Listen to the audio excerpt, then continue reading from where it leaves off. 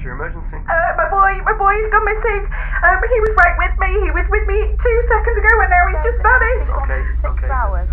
Yes, she'd gone to the shop just down the road.